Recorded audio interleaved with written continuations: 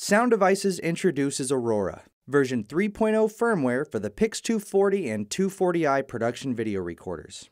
Aurora brings with it important new features, including ProRes 4444 recording from video sources over 3G SDI.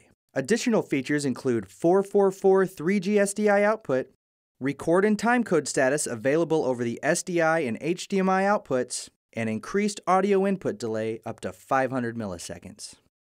With the introduction of 12-bit, 330 megabit per second ProRes 4444 recording, the Pix 240i opens up to a wide range of professional production and post-production applications. Perceptually indistinguishable from original source material, ProRes 4444 provides users with superior chroma keying, color grading, and multi-generational editing performance.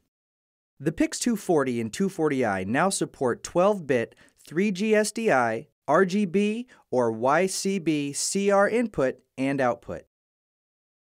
The Pix 240 and 240i can now apply timecode, record, play, and standby status indicators on its video outputs on both SDI and HDMI. The Pix 240i offers added audio input delay, up to 500 milliseconds. This delay is used to compensate for the different processing time required between the audio and video signals. Aurora version 3.0 firmware for the Pix 220 and 220i include timecode record, standby, and playback indicators on the video output, plus the increased input delay to the audio tracks. For more information on the Pix 220i and 240i production video recorders, visit sounddevices.com.